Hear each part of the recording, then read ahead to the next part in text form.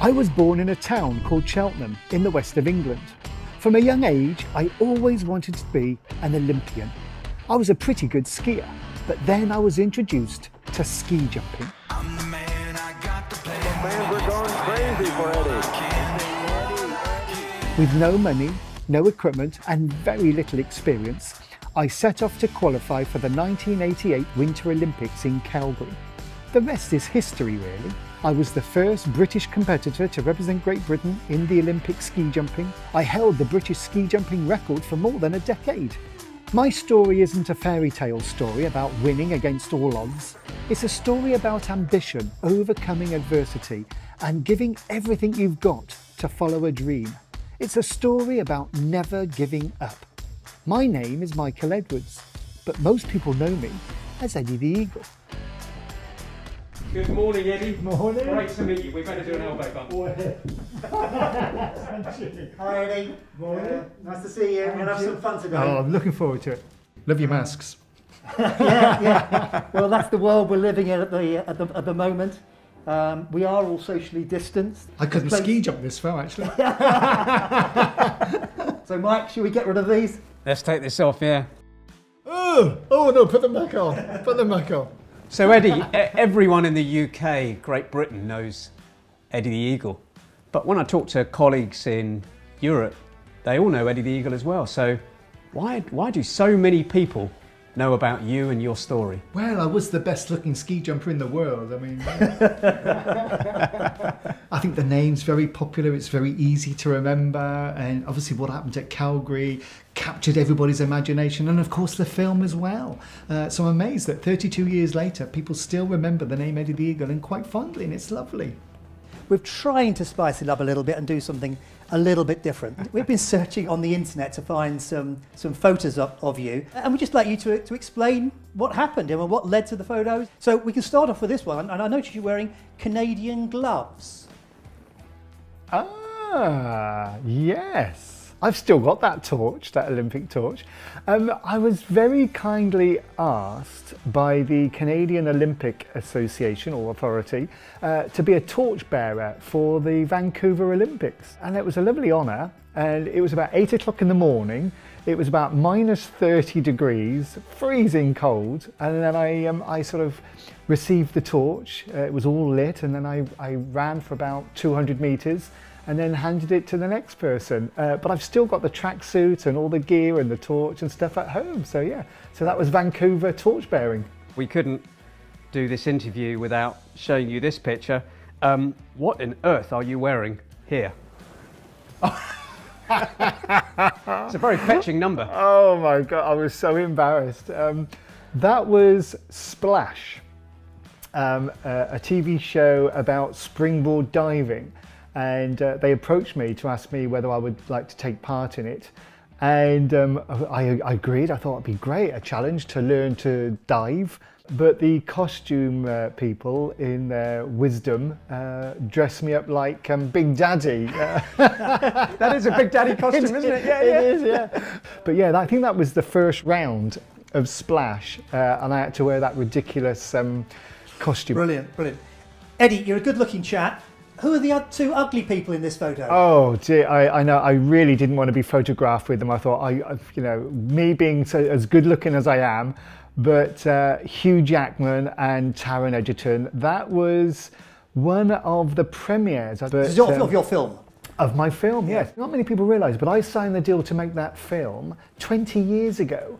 And in the end, I said, give me a call when you actually start making the film. And after 10 years, I thought, well, the film will never be made.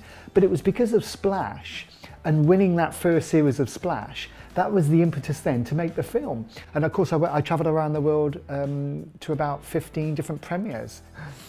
Here's one of you sitting down on the job. so tell me about that little episode. Oh my God, yes. That was filmed near Salzburg for um, Red Bull. And they wanted to kind of take the mickey type of thing because all their all their interviews are all sort of deadpan very serious and they talk about their life and all their winnings and trophies and things. But of course they couldn't do that with me because I came 58th at Calgary. So we did a bit of a, um, a kind of a, a take the mickey type thing and they wanted me to pretend to go for the world ski jump record on a toboggan. Um, and I went, I think, 12 metres flying through the air on the toboggan. So, uh, yeah, that was the world record ski jumping on a toboggan. Well, so you did have a world record after all. I did get a world, I'm a world record holder. You were not only known for, for your sporting exploits, but also you had a very distinctive look about yourself at the time. If I remember, you had a, uh, um, a little moustache. Yes. And you had some, some serious glasses Oh, on. probably thick. Spectacles on. Yes. And uh, I mean, that obviously led to this particular photograph. yes, that was the early 1990s, and that was a Specsavers commercial. And um, one of the agents um, that I, I was I, I had approached Specsavers and suggested me for an advert, and they loved the idea. And this was Specsavers' very first national commercial, and it was brilliant. Uh, I had such great time. Okay, Eddie, we've um, we've learnt today what a celebrity you are, but it, I think it's useful now and interesting for our viewers to really drill in and learn a little bit about your sporting background and performance. Yes, I, I've been skiing a lot more than I've been ski jumping actually. I started skiing um, at school on a school ski trip and I learnt at 13. I, I was very lucky, I lived very close to a dry ski slope, um, had a lesson there, went to Andalo in the Italian Dolomites for my first ski trip, loved it, came back and that dry ski slope, the local one, became my home. I was up there every night after school or weekend or school holidays, started racing, alpine ski racing, slalom, giant slalom, raced internationally and then went to America to race, ran out of money and I, I tried to find something cheaper to do and ski jumping was cheaper. So I started ski jumping. It was just economical really. It was much cheaper for me to ski jump than uh, And a bit more dangerous as well. a little bit, yeah. It was it was exciting. It was exciting, and I um, I, I knocked on the door at the ski jump, and they, they said there's a lost property shed at the bottom. Go and find out what fits, and have a go. And and off I went. But I did it very very quickly. It normally takes five, six, seven years, and I went from a beginner to the 90 meter in about five months, and um, and that was it. Whoosh, and off I went, and then managed to qualify for Calgary, and then went to the Olympics and became Eddie the Eagle. And that's my kind of story in a nutshell, really. Yeah. And I came 58th out of 59. A lot of people don't realise this, but at Calgary, a Frenchman fell and broke his leg in the training. So I'm taking that as a, you know, a 58th out of 59. I didn't come last. Quite right. Not a lot of people know that. Not a lot of people know that. No. Your life must have changed tremendously after that. Yes, yes. It, uh, my, my feet really didn't touch the ground for about three years after Calgary. I was flying all over the world. I was opening shopping centres, golf courses, hotels. And of course, at Calgary, straight after Calgary, I got banned from the Olympic team because the British Olympic Association said that I was making a mock of the sport and bringing the sport into disrepute. So I got kicked off the team. I wanted to have Calgary as my first Olympics. I wanted to get a little bit of attention from the UK press and then hopefully turn that attention into sponsorship and then make it easier for me to go for the 92, 94, 98, 2002 and 2006 Olympics. And then over the next 20 years, I could have got better and better and better at ski jumping. That's what I wanted to do. Then I got banned because I became Eddie the Eagle. So the only thing left open to me was PR. And um, I just traveled the world for three or four years, earning about 10 grand an hour to open all these, you know, fun rides and hotels and golf courses and stuff, having a whale of a time. You got a law degree. Yes, yes, I got a law degree. But but goals was was always something that I had because I had daily goals, I had weekly goals, monthly goals, yearly goals, and of course, the big goal was the Olympics. But I had lots of you know individual small little goals, and I kept having to achieve those. Can you just talk us through what drove you on? I just had such a passion, I still do, for skiing, but I was also very highly self motivated. Whenever I did something, I wanted to be the best at it. So when I started skiing, that was it. You know, I wanted to get into the England team, the British team, I wanted to go to the Olympics, and I wanted to be the champion, the best. So, Eddie, not many people have the opportunity to see their life story played out on the big screen. So, tell me, what was it like for you watching Eddie the Eagle, the film? We were blown away by it. We came out, we were all crying, oh my God, this is such a good film. And I still love it to this day. It really captured the heart and spirit and essence of my story. And they did it in such a lovely way. They captured it very well. They, they captured it so, so well. And, and to have Hugh Jackman and Taron play, play me and, and all that kind of thing, they did such a great job. I loved it. I mean, it shows some tremendous hardship. I think there's one scene where it looks like you're sleeping in, in, a, in a cupboard or, or a bar. Yes. And, and really roughing it. Was that, was that, is that based on true? Um, they, they, they've used a certain amount of artistic license, but not very much. I, I think personally, I think the film is about 85, 90% true, but it only represents about 20% of my life as a ski jumper. In fact, I think my life was a lot worse really than the film portrayed. Uh, I slept in many basements. Um, when I drove my camper van, I parked in the basement of apartment blocks because it was warmer uh, and uh, away from the elements. Um, so yeah, I did a lot of that.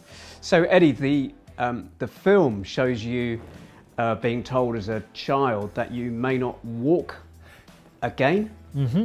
So was that made up for the film, or was that uh, mm-hmm. did that actually happen in real life? No, it, it kind of happened. It was just when I was nine and ten, I had a really bad infection in my cartilages or in my cartilage in my knee. And I was constantly, for two and a half years, in and out of hospital and in and out of plaster. And they used to put me in a plaster cast from my ankle to my thigh. So I was literally in and out of plaster for two and a half years. Couldn't run, couldn't walk, couldn't do sport, couldn't do anything. But in the film, if they'd have put me in a plaster cast, it could have implied that I'd simply broken my leg when it was much more serious than that. So in the film, one of the opening scenes, as a little boy, I'm coming down the stairs in calipers. Now, I didn't wear calipers, but that was just to represent or to symbolise the fact that I was out of action for two and a half years. Right. And then two, three years later, um, I went skiing. And of course, my mum and dad were a little bit nervous because I had these problems with my knee. And they thought, oh, do you really want to go skiing? But I've always wanted to have a go because I used to love watching Ski Sunday. Eddie, we've heard about the highlights from your career, but building a business needs courage, hard work, tenacity, and you needed the same qualities early on in your career. Can you just talk us through how you handled those challenges? Yeah, as, a, as an athlete, I think there's a lot of qualities being an athlete and competing and trying to achieve goals, uh, the same as in business. Um, I think the biggest tool in my tool bag was resilience.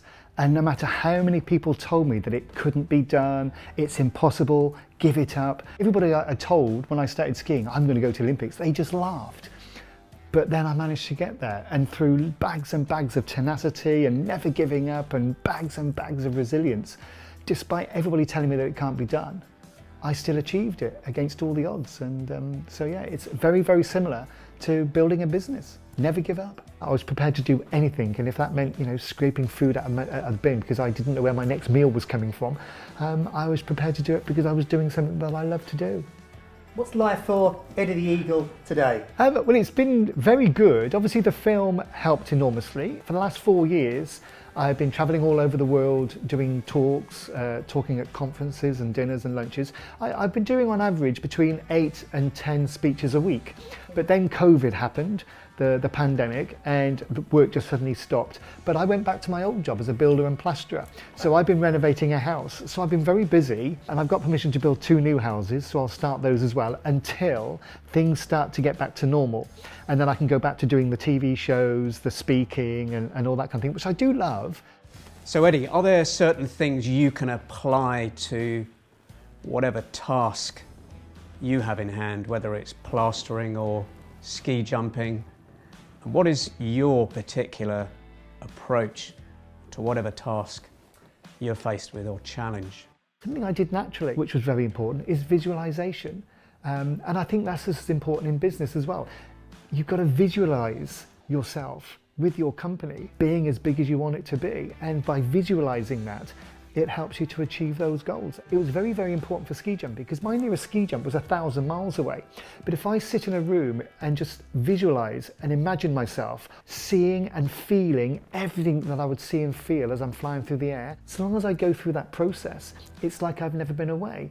And I think you can use that in anything, whether it's in sport, in business, uh, or in life. You've got to visualize it to be it. Yeah, that's a great point. Olympian. British record holder. Lawyer. Plasterer. Stuntman. Pop star. Speed skier. Legend. Legend. Eddie, thank you very much.